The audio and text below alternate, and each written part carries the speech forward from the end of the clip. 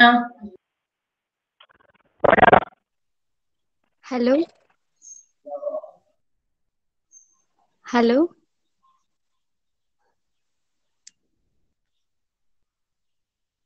ഞാൻ പറയുന്നത് കേൾക്കുന്നുണ്ടോ? സാർ തുടങ്ങിക്കോട്ടെ. അതോ എല്ലാരും വന്നിട്ടാണോ? സാർ പറയണ കേൾക്കുന്നില്ല. അതെ കേൾക്കുന്നില്ല.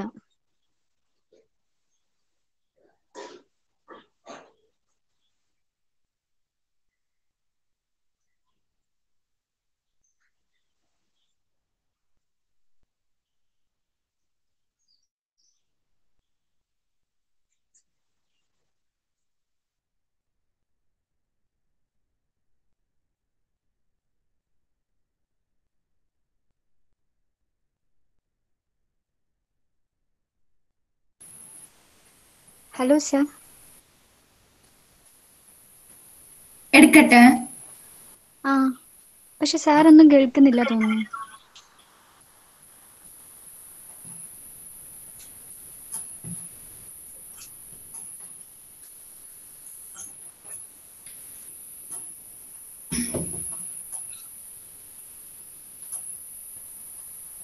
തുടങ്ങിക്കോട്ടെ. ഓ. അപ്പൊ എന്റെ ടോപ്പിക് മോഴ്സ് കോഡാണ് ഹർഷ മാറ്റിക്കോ.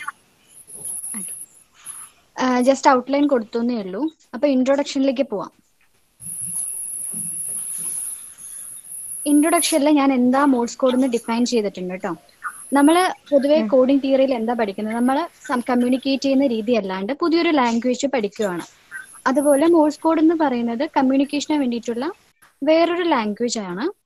അപ്പോൾ മോഴ്സ് കോഡ് എന്ന് പറയുന്നത് നമ്മൾ ടെക്സ്റ്റ് ഇൻഫോർമേഷൻ ട്രാൻസ്മിറ്റ് ചെയ്യാണ്. പക്ഷെ അവിടെ വരുന്ന വരുന്നത് ഓൺ ഓഫ് ട്യൂൺസോ ലൈറ്റ്സോ ക്ലിക്സ് ഒക്കെ അതിന്റെ രൂപത്തിലൊക്കെയാണ് നമ്മൾ ഇൻഫോർമേഷൻ അങ്ങോട്ട് കൊടുക്കുന്നത്.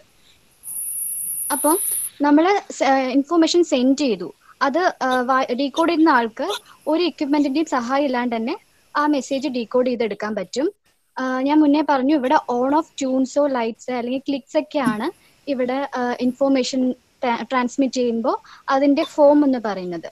അപ്പോൾ ഇവിടെ നമ്മൾ ഒരു സിമ്പിൾ കൊടുക്കുന്നത് ഡോട്ടും ഡാഷും ഒക്കെ വെച്ചിട്ടാണ്. അതായത് ഒരു കോഡ് ക്രിയേറ്റ് ചെയ്യുന്നത് ഡോട്ടും ഡാഷിന്റെ ഒക്കെ കോമ്പിനേഷൻസിലാണ് സിമ്പിൾ ആയിട്ട് വരുന്നത്. ഇത് വളരെ സ്ലോ പ്രോസസ് ആണ്. എങ്കിൽ പോലും നോയ്സ് ഒക്കെ വളരെ കുറച്ചിട്ട് വളരെ കുറവായിട്ടൊക്കെയാണ് വരുന്നത്. നമുക്ക് ചെറിയ നാരോ ബാൻഡ് വിഡ്ത്തിലൂടെയും ഇൻഫോർമേഷൻസ് ഒക്കെ ട്രാൻസ്മിറ്റ് ചെയ്യാൻ പറ്റും. ചെറിയ ഫ്രീക്വൻസിയിലുള്ളതിൽ കൂടെയൊക്കെ നമുക്ക് പറ്റും. ഓക്കെ കഴിഞ്ഞു ഇനി ഹർഷ മാറ്റിക്കും. ഇനി ഹിസ്റ്ററിനെ കുറിച്ച് സംസാരിക്കാം. അതായത് ഹർഷ നീ സ്ലൈഡ് മാറ്റുന്നുണ്ടോ? ആ ഞാൻ മാറ്റി. ഹിസ്റ്ററി വന്നു. ആ ഓക്കെ ആ ഓക്കെ അപ്പോ മോഴ്സ് കോഡ് കൊണ്ടുവന്നത് സാമ്പിൾ മോഴ്സ് എന്ന് പറയുന്ന ഒരു വ്യക്തിയാണ്. അദ്ദേഹം എന്ന് പറയുന്നത് ഒരു പോർട്രൈറ്റ് പെയിന്റർ ആണ്. അപ്പൊ ഇങ്ങനെ അദ്ദേഹം മോഴ്സ് കോഡിനെ കുറിച്ച് ചിന്തിക്കാനും അതിനുവേണ്ടി വേണ്ടി കാര്യങ്ങളൊക്കെ കൊണ്ടുവരാനായിട്ട് അത് ഡെവലപ്പ് ചെയ്യാൻ വേണ്ടിയിട്ട് ഒരു കാരണമുണ്ട്. കാരണം എന്താ വെച്ചാൽ ഇദ്ദേഹം ഒരു പെയിന്റിങ്ങിനെ ചെയ്തുകൊണ്ടിരിക്കുകയാണ്. ആ സമയത്ത് ഇദ്ദേഹത്തിന് ഒരു ലെറ്റർ വരികയാണ്. ഇദ്ദേഹത്തിന്റെ വൈഫിനെ വയ്യ. അപ്പൊ അതുമായിട്ട് റിലേറ്റ് ചെയ്ത് ലെറ്റർ വരികയാണ്. പക്ഷെ ആ ലെറ്റർ കിട്ടിയത് വളരെ ഡിലേ ആയിട്ടാണ്. പോരാത്തതിന് ആ ലെറ്ററിനെ തുടർന്ന് വേറൊരു ലെറ്റർ കൂടെ വരികയാണ് വൈഫ് മരിച്ചുപോയി എന്ന രീതിക്ക്. അപ്പൊ അദ്ദേഹത്തിന് വൈഫിന്റെ കൂടെ അവസാന നിമിഷമൊന്നും ഇരിക്കാൻ പറ്റിയില്ല. അങ്ങനെ വളരെ സാഡായിട്ട് അദ്ദേഹം ആ ഒരു ഇതിൽ എന്തേലും ഇൻസ്റ്റന്റ് ആയിട്ട് കമ്മ്യൂണിക്കേറ്റ് ചെയ്യാൻ പറ്റുന്ന രീതിയിൽ എന്തേലും കണ്ടുപിടിക്കണം എന്നൊരു ഉദ്ദേശത്തോടെയാണ് അദ്ദേഹം ഈ ഒരു വർക്കിലേക്ക് ഇറങ്ങുന്നത്. അങ്ങനെ തൗസൻഡ് എയ്റ്റ് ഹൺഡ്രഡ്സിലാണ് അദ്ദേഹം ഈ ഒരു വർക്ക് സ്റ്റാർട്ട് ചെയ്തത്. ഇതിനു വേണ്ടി ഈ ഒരു സിസ്റ്റം ഡെവലപ്പ് ചെയ്യാൻ വേണ്ടിയിട്ട് അദ്ദേഹം വർക്ക് തുടർന്നത് തൗസൻഡ് എയ്റ്റിയിലാണ് എങ്കിൽ പോലും തൗസൻഡ് എയ്റ്റി തേർട്ടി സിക്സിലാണ് സാമൽ മോഴ്സ് ഒരു സിസ്റ്റം കൊണ്ടുവരുന്നത്. അതായത് മോഴ്സ് കോഡ് ഡെവലപ്പ് ചെയ്യുന്നത്. അദ്ദേഹം ചെയ്തത് എന്താ വെച്ചാൽ ഒരു എക്യുപ്മെന്റ് കണ്ടുപിടിച്ചു. പേര് ടെലഗ്രാഫ് എന്നാണ്. അതെന്ന് പറയുന്നത് ആദ്യമായിട്ട് കണ്ടുപിടിച്ച ലോങ് ഡിസ്റ്റ ലോങ് ഡിസ്റ്റൻസ് കമ്മ്യൂണിക്കേഷന് വേണ്ടിയിട്ട് കണ്ടുപിടിച്ച ആദ്യമായിട്ട് കണ്ടുപിടിച്ച ഒരു ഡിവൈസ് ആയിരുന്നു. അപ്പോൾ അദ്ദേഹത്തിന്റെ ഈ വർക്കിൽ ഇൻസ്പയർഡ് ആയിട്ട് കുറച്ച് ആൾക്കാർ അതായത് ജോസഫ് ഹെൻറി ആൽഫ്രഡ് ബേൽ എന്ന് പറയുന്ന സ്പെല്ലിംഗ് മിസ്റ്റേക്ക് ഉണ്ട് കേട്ടോ ഞാൻ എഴുതിയതിൽ അങ്ങനെ രണ്ട് ആൾക്കാരൂടെ അദ്ദേഹത്തിന്റെ വർക്കിൽ കോൺട്രിബ്യൂട്ട് ചെയ്യാനായിട്ട് വരികയാണ്. അതായത് അദ്ദേഹം കണ്ടുപിടിച്ച ആ എക്യുപ്മെന്റിനെ തന്നെ കുറച്ചുകൂടെ ഒന്ന് മോഡിഫിക്കേഷൻ കൊണ്ടുവരുത്തി അവർ പുതിയ പുതിയൊരു ടെലഗ്രാഫ് കമ്മ്യൂണിക്കേഷന് വേണ്ടിയിട്ട് കൊണ്ടുവരികയാണ്.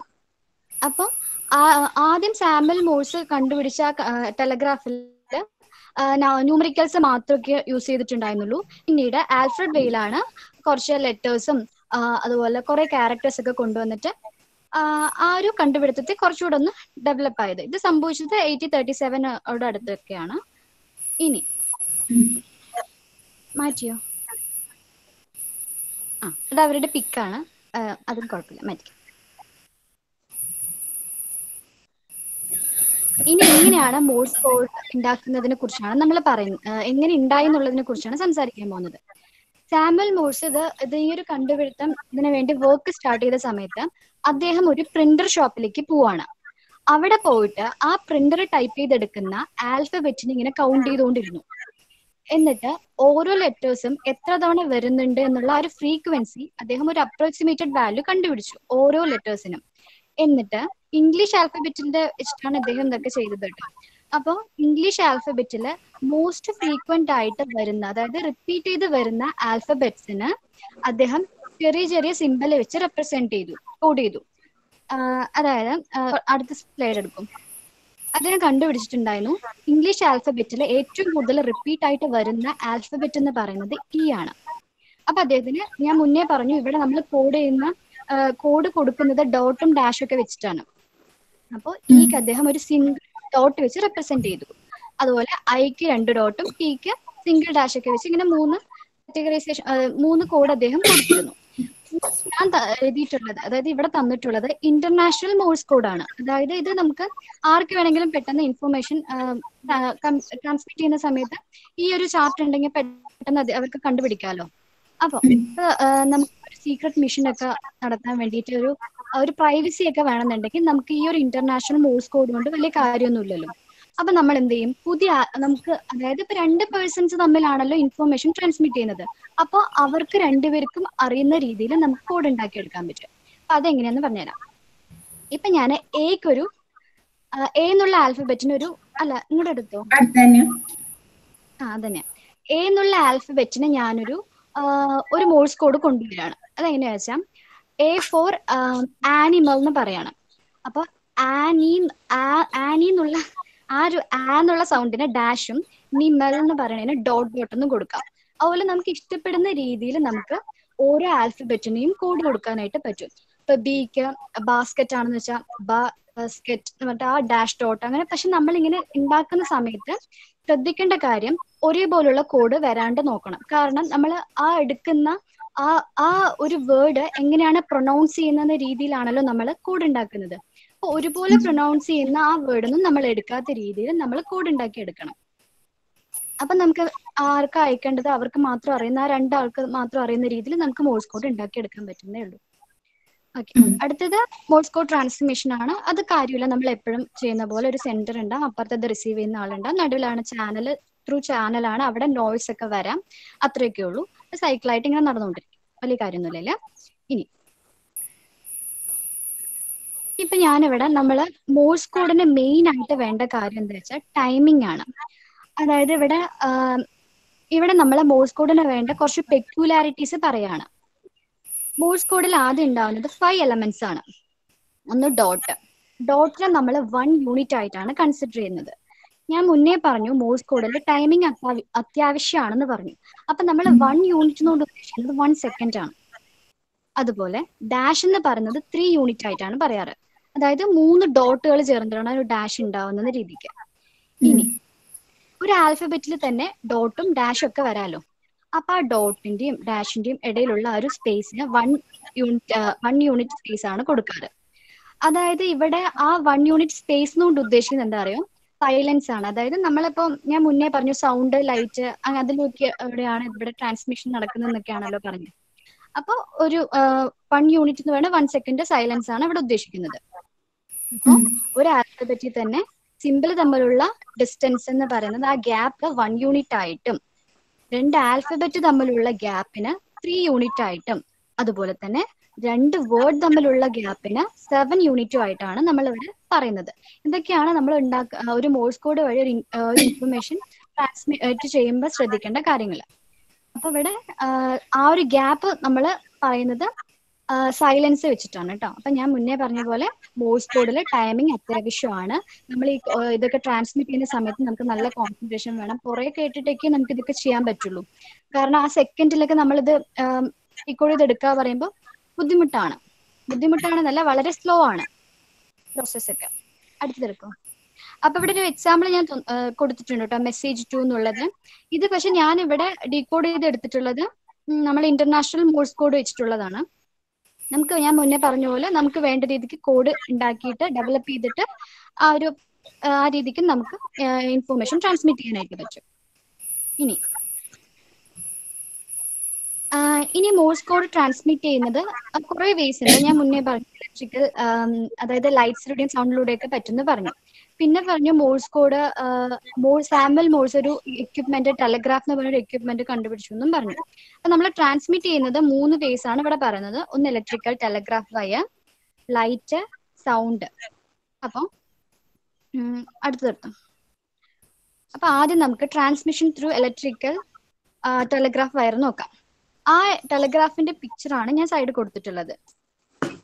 ഇതിൽ ആ ഒരു റൗണ്ട് റൗണ്ട് ആയിട്ട് കാണുന്നില്ലേ? അതിനെയാണ് മോഴ്സ് കീ എന്ന് പറയാം. ഇവിടെ അതിന്റെ പർപ്പസ് എന്താന്ന് പറഞ്ഞു വെച്ചാൽ അവിടെ ഒരു കറണ്ട് ഇമ്പൾസ് ഉണ്ടാക്കുകയാണ് അതിൽ ടച്ച് ചെയ്തിട്ടാണ് നമ്മൾ ആ ഒരു എക്യുപ്മെന്റിന് കറണ്ട് ഇമ്പൾസ് കൊണ്ടുവരിക എന്നിട്ട് നമ്മൾ കൊടുക്കുന്നതനുസരിച്ച് നമ്മൾ എന്ത് മെസ്സേജ് ആണോ കൊടുക്കുന്നത് നമ്മൾ കൊടുക്കുന്ന ആ ഒരു റിതം അനുസരിച്ചാണ് അവിടെ ഇലക്ട്രിക് കറണ്ട് ഫ്ലോ ചെയ്യുമ്പോൾ നമുക്ക് ഓട്ടോമാറ്റിക്കലി അവിടെ മാഗ്നറ്റിക് ഫീൽഡ് ഒക്കെ വരുമല്ലോ അപ്പൊ അതിന്റെ ഒരു വൈബ്രേഷനും കാര്യങ്ങളൊക്കെ വെച്ചിട്ടാണ് അപ്പുറത്തിരിക്കുന്ന റിസീവർ ആ ഒരു മെസ്സേജ് ഡീകോഡ് ചെയ്തെടുക്കുന്നത്. അടുത്ത പേജ് എടുക്കും. അപ്പൊ ഞാൻ പറഞ്ഞു ഇവിടെ ഈ പിക്ചറിൽ എവിടെ ടെലഗ്രാഫ് വയർ എന്നുള്ളത് നിങ്ങൾക്ക് കാണുന്നില്ലല്ലോ. അവിടെ ഒരു അതിന് വേണ്ടിയിട്ടുള്ള ഒരു സാധനം ഉണ്ട് അതായത് ആ വയറ് നമുക്ക് അതിൽ ഇൻസേർട്ട് ചെയ്ത് അതിലേക്ക് ഇങ്ങനെ കണക്ട് ചെയ്യാൻ പറ്റുന്ന രീതിയിൽ. എന്നിട്ട് ഞാൻ മുന്നേ പറഞ്ഞു ടെലഗ്രാഫ് എന്ന് പറഞ്ഞാൽ ലോങ് ഡിസ്റ്റൻസ് ട്രാൻസ്മിഷൻ ഒക്കെയാണ് യൂസ് ചെയ്യുന്നത് പറഞ്ഞു. നമുക്ക് വേണമെങ്കിൽ അതിന്ന് ആ വയർ വേണമെങ്കിൽ അല്ല. ആ വയർ ഇതിൽ കണക്ട് ചെയ്തിട്ട് പോസ്റ്റ് കമ്പിയിലില്ലേ അതിലേക്ക് കണക്ഷൻ കൊടുക്കാം. എന്നിട്ട് അതിലൂടെയാണ് ഇൻഫർമേഷൻ നമ്മൾ ഇതാക്കുക.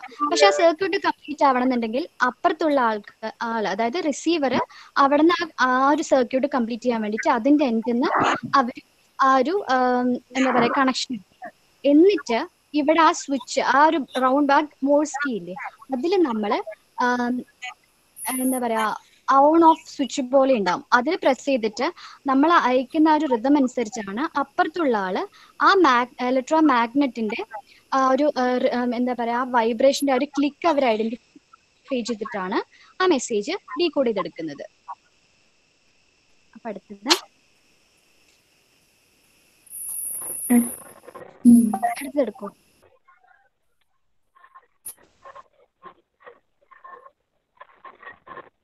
ഹലോ. ഹലോ. മാറ്റിയോ നീ എനിക്ക് കാണുന്നില്ല എനിക്കും ആ കാണാം മാറ്റിണ്ട് ആ വന്നു. ഉം.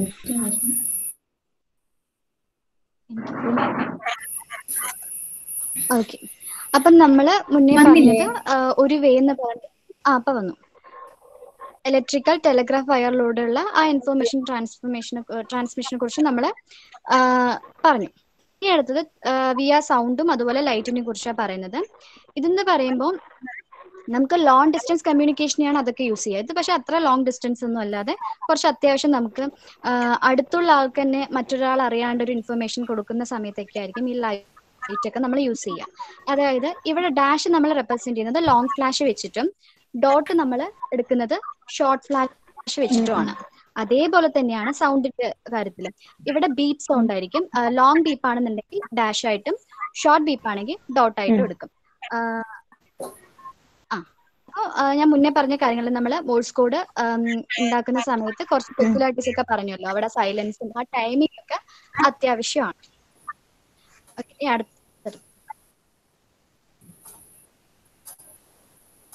ഇതാ ഒരു പിക്ചർ ഞാൻ ജസ്റ്റ് കാണിക്കുന്നതേ ഉള്ളൂ. കാര്യമില്ല. ആ ഒരു എങ്ങനെയാ സ്വിച്ച് ടൈപ്പ് ചെയ്യാന്നുള്ള.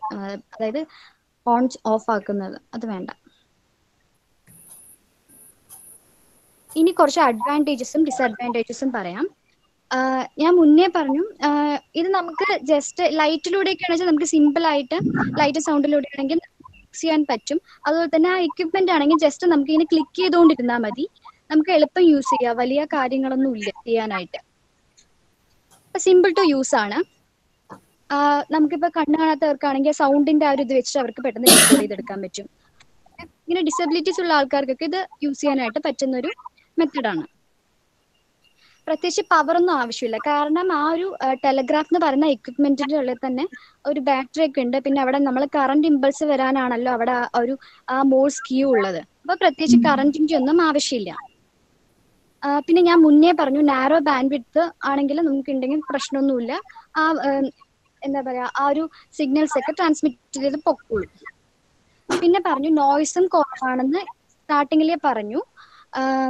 അപ്പൊ നോയ്സ് കുറച്ച് കുറഞ്ഞ രീതിക്ക് നമുക്ക് കിട്ടും. ഇതൊക്കെയാണ് അഡ്വാന്റേജസിൽ പറയുന്നത്. ഇനി ഡിസഡ്വാന്റേജസിൽ പറയുന്നത് പെട്ടെന്ന് എല്ലാവർക്കും ഇത് അങ്ങോട്ട് യൂസ് ചെയ്യാൻ പറ്റില്ല. കാരണം ആ ഒരു എക്യുപ്മെന്റ് അതായത് ലോങ് ലോങ് ഡിസ്റ്റൻസ് കമ്മ്യൂണിക്കേഷൻ ആണെങ്കിൽ നമുക്ക് ടെലഗ്രാഫ് എന്നുള്ള ഒരു ആ ഒരു ഡിവൈസ് വേണമല്ലോ അപ്പോൾ പെട്ടെന്ന് എല്ലാവർക്കും ഇത് അഫോർഡ് അതായത് കിട്ടണം എന്നില്ലല്ലോ അപ്പൊ എല്ലാവർക്കും പറ്റുന്ന ഒരു സാധനമല്ല ഇതെന്ന് പറയുന്നത് അത്ര സ്പീഡിലൊന്നും നമുക്ക് മനസ്സിലാക്കി എടുക്കാൻ പറ്റില്ല. വേർഡ്സ് പെർ മിനിറ്റ് എന്ന് പറയുന്നത് വളരെ കുറവാണ്. അപ്പൊ ഒരുപാട് സമയം എടുക്കും കാരണം ഓരോ ഓരോ ആൽഫബറ്റിന് തന്നെ കുറെ കോഡും അതായത് ഡോട്ടും ഡാഷ് ഒക്കെ വരുന്നുണ്ടല്ലോ. അപ്പൊ ഓരോ ആൽഫബറ്റിന് ഇത്ര വരെ കുറെ സിമ്പിൾസ് വരുന്നുണ്ട്. അതുപോലെ ഓരോ എന്താ പറയാ വേർഡും സെന്റൻസ് ഒക്കെ ആകുമ്പോൾ പിന്നെയും കൂടുതലല്ലേ? ടൈപ്പ് ചെയ്യുന്ന ആ ഒരു ചെയ്യുന്ന ആ ഒരു ടൈമും കുറച്ച് ആ ഒരു സ്പീഡൊക്കെ കുറവായിരിക്കും.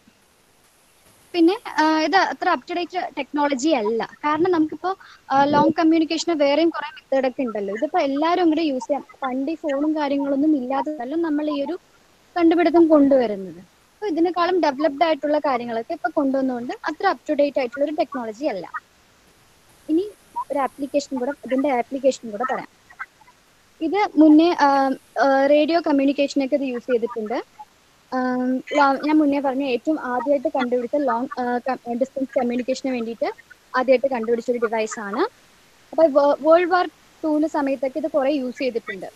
നമുക്കിപ്പോ വാർഷിപ്പ് ഒക്കെ അതിനെക്കുറിച്ചും അതിനെ ബേസ് ചെയ്തിട്ടുള്ള ആ ഒരു കാര്യങ്ങൾക്ക് വേണ്ടിയിട്ട് വേൾഡ് വാർ ടൂലൊക്കെ ഇത് യൂസ് ചെയ്തിട്ടുണ്ട്. പിന്നെ ഇപ്പോ ഈ ഒരു ഇതിൽ നമ്മൾ ശ്രദ്ധിക്കേണ്ടത് എസ് ഒ എസ് എന്ന് പറയുന്ന ഒരു കോഴ്സ് ഉണ്ട്. അതെന്ന് പറയുന്നത് നമ്മൾ ഈ യൂസ് മോഴ്സ് കോഡാണ് നമ്മൾ എന്തെങ്കിലും ഒരു ഡേഞ്ചർ അലേർട്ട് ചെയ്യുന്ന ഒരു മോഴ്സ് കോഡാണ് എസ് ഒ എസ് അതിന്റെ പ്ര- പ്രത്യേകിച്ച് ഏതിന്റെയും അബ്രിവേഷൻ അല്ല. എങ്കിൽ പോലും എല്ലാവരും ഗേവ് അവർ സോൺ എന്നൊക്കെ പറഞ്ഞിട്ട് ഇങ്ങനെ പറയാറുണ്ട്. അപ്പൊ വേൾഡ് വൈഡ് ആയിട്ട് യൂസ് ചെയ്യുന്ന ഒരു മോഴ്സ് കോഡാണ് എസ് ഒ എസ് അത്രയൊക്കെ ഉള്ളൂ. ഞാൻ ഇത്രയൊക്കെ എടുത്തിട്ടുള്ളൂ. ഞാൻ പറഞ്ഞത് എത്രത്തോളം നിങ്ങൾക്ക് മനസ്സിലായി എന്നുള്ളതൊന്നും മനസ്സിലായില്ല. എങ്കിലും എന്തായാലും താങ്ക് യു എന്നൊക്കെ മോഴ്സ് കോഡിൽ എഴുതിയതാണ് ഇത്രയേ ഉള്ളൂ. ഇനി ടോപ്പിക്കാം കഴിഞ്ഞു. സർ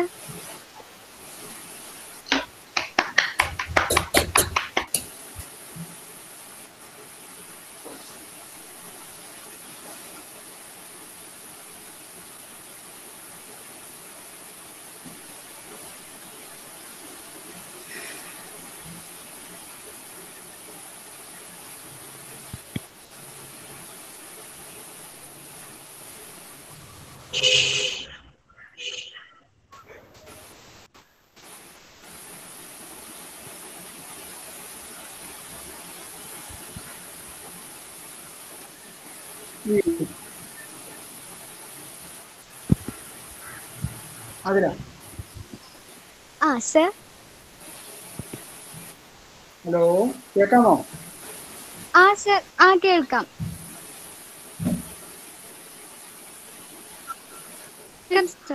കേൾക്കാം, സർ.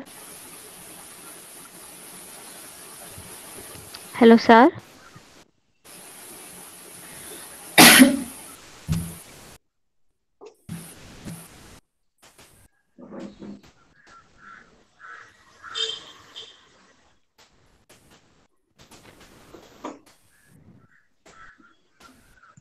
ആതിര. കേൾക്കുന്നുണ്ടോ? ആ സർ കേൾക്കാം. ആ കേൾക്കുന്നുണ്ട്.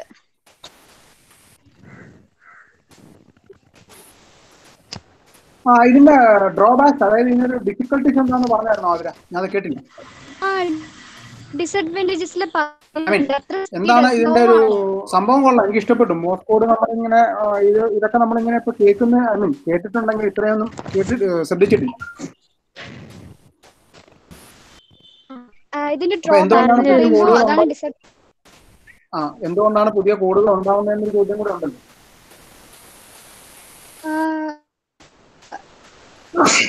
കേൾക്കാൻ വളരെ സ്ലോ ആ കേൾക്കാം കേൾക്കാം. സ്ലോ പ്രോസസ് അല്ലേ? നമ്മൾ ഓരോ മിനിറ്റിൽ കിട്ടുന്ന ആ വേർഡിന്റെ ആ ഒരു ടൈം ഗ്യാപ്പ് വളരെ വലുതായത് കൊണ്ട് തന്നെ ഒരുപാട് സമയമെടുത്ത് ചെയ്യുന്നതുകൊണ്ടാണ് ഈ ഒരു പുതിയ കോഡൊക്കെ ഇങ്ങനെ വരുന്നതെന്നാണ് ഞാൻ വിചാരിച്ചത്.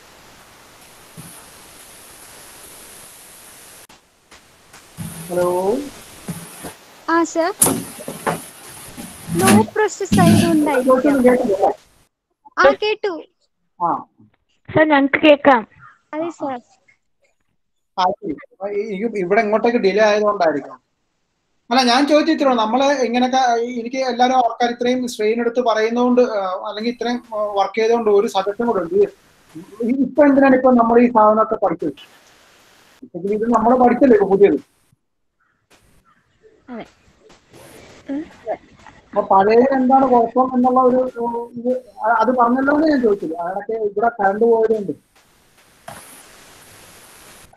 പറഞ്ഞു സർ ആയിക്കോട്ടെ നിങ്ങൾക്ക് എന്തെങ്കിലും പറയാനുണ്ടോ? പറയൂ. ആ. പറഞ്ഞല്ലോ ഓക്കെ. കുഴപ്പമില്ല. ഹലോ. ഹലോ ആതിര കേൾക്കുന്നുണ്ടോ? ആ കേൾക്കാം. ആതിര വളരെ നന്നായിട്ട് തന്നെ ചെയ്തിട്ടുണ്ടായിരുന്നു. ശരിക്കും ഞാൻ ഈ മോഴ്സ് കോഡ് പഠിക്കണം എന്ന് വിചാരിച്ചിരിക്കുകയായിരുന്നു. ഒരു സിനിമയിൽ കണ്ടിട്ട് നന്നായിട്ടുണ്ടെന്ന് പറഞ്ഞിട്ട് പഠിക്കാനിരിക്കുകയായിരുന്നു. ഞാനും അനിയത്തിയും പുറത്തു പോണ സമയത്തൊന്നും ഇങ്ങനെ ആൾക്കാരുടെ മുന്നിൽ സംസാരിക്കില്ല. അപ്പൊ ഇങ്ങനെ ഒരു കോഡ് കിട്ടിയാൽ ഞങ്ങൾക്ക് കമ്മ്യൂണിക്കേഷൻ എളുപ്പമായിരിക്കുമല്ലോ എന്ന് വിചാരിച്ച് പഠിക്കാനിരിക്കുകയായിരുന്നു. പക്ഷെ അതിന്റെ വീഡിയോ ഒക്കെ കണ്ടു. എനിക്ക് ആ ഇന്റർനാഷണൽ കോഡ് കണ്ടപ്പോൾ തന്നെ മതിയായി. ഞാൻ പഠിച്ചില്ല പിന്നെ. ഇപ്പൊ കേട്ടപ്പോ ഒന്നുകൂടെ പഠിക്കാന്ന് തോന്നുന്നുണ്ട്. ആവശ്യമുള്ള സമയത്ത് കൊണ്ടുവന്നുകൊണ്ട് താങ്ക് യു അതിര നല്ല നന്നായിട്ടുണ്ടായിരുന്നു ടോപ്പിക്ക് ആതിര? ഹലോ ആഹ് ഇന്ന് എനിക്ക് സത്യമായിട്ടും കോഡിംഗ് തിയറിയിൽ ഒരു സെമിനാർ കേട്ടിട്ട് എനിക്ക് ഇത്രയും സന്തോഷം തോന്നിയിട്ടില്ല. ഇത് മോസ് കോഡ് കേട്ടപ്പോൾ അത്ര സന്തോഷം തോന്നിയ കാരണം ഞാനും ഹർഷയൊക്കെ ഡിഗ്രിയിൽ നേവിയിൽ ഉണ്ടായിരുന്നു ഞങ്ങൾക്ക് മോസ്കോഡ് പഠിക്കണമായിരുന്നു. ഈ ഫുൾ ഇന്റർനാഷണൽ കോഴ്സ് ഞങ്ങൾ കാണാപ്പാടെ എത്ര പ്രാവശ്യം എഴുതി പഠിച്ചത് പോലും അറിയത്തില്ല. ഞങ്ങളടുത്ത് വന്ന് ചോദിക്കും പറഞ്ഞില്ലെങ്കിൽ ഞങ്ങൾക്ക് പുഷപ്പ് ബെഞ്ച് സിറ്റപ്പ് ഓരോന്ന് തരും. അത് കാരണം ഞങ്ങൾ അത്രയും കഷ്ടപ്പെട്ട് പഠിച്ചാണ് രാത്രിയൊക്കെ ക്യാമ്പിലെ ഓരോ ദിവസം ഇരുന്ന് കുത്തിയിരുന്ന് പഠിച്ചാണ് ഫുൾ ക്യാമ്പിന്റെ മെമ്മറീസ് മാത്രമായിരുന്നു ഇന്ന് സെമിനാർ എടുത്തത്. അത്ര സന്തോഷമായി നല്ല രസമുള്ള ടോപ്പിക് എനിക്ക് സന്തോഷം പറഞ്ഞറിയിക്കാൻ പറ്റത്തില്ല. താങ്ക് യു ആദ്യ താങ്ക് യു എനിക്കിത് കേട്ടപ്പോ നല്ല സന്തോഷമായിട്ടോ ഞാൻ എന്റെ ടോപ്പിക് വളരെ കുഞ്ഞതായി എന്നൊക്കെ പറഞ്ഞ് സാഡ് ആയിട്ടൊക്കെ ഇരിക്കുമായിരുന്നു എങ്കിലും പുതിയൊരു ലാംഗ്വേജ് നിങ്ങൾക്ക് പറഞ്ഞുതരാൻ പറ്റിയ ഒരു സമാധാനമുണ്ട്. നിങ്ങൾക്ക് അറിയാം എങ്കിലും ആർക്കെങ്കിലും അറിയത്തുണ്ടാവും അവർക്ക്.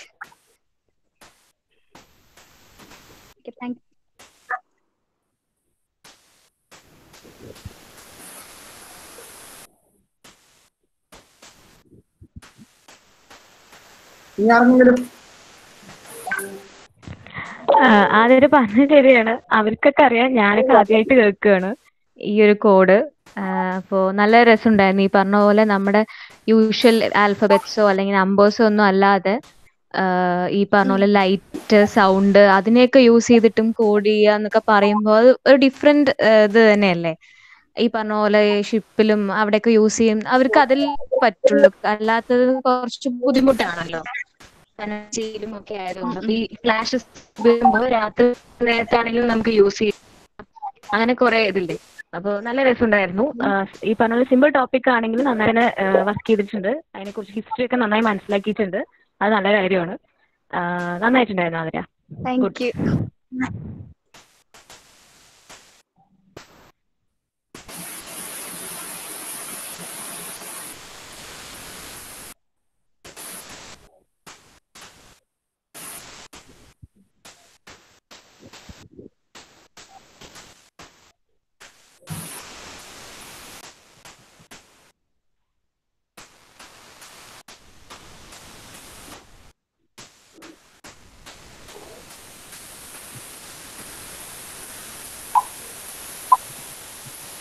കഴിഞ്ഞോ? ഇനി ആർക്കെങ്കിലും?